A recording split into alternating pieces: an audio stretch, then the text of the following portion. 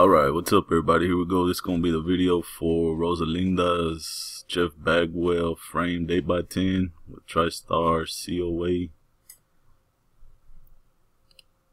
There's 10 items on this list. We're live. Time is 1045. There's the list. It's already been copied and pasted. There it is. 10 entries. Gonna roll the dice. Five or higher. We'll keep rolling.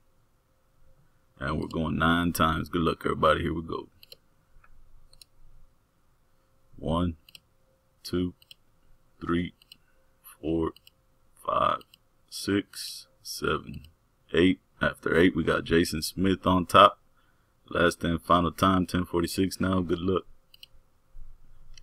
And Jason Smith stays on top, just changes spots. Spot number one wins it for him.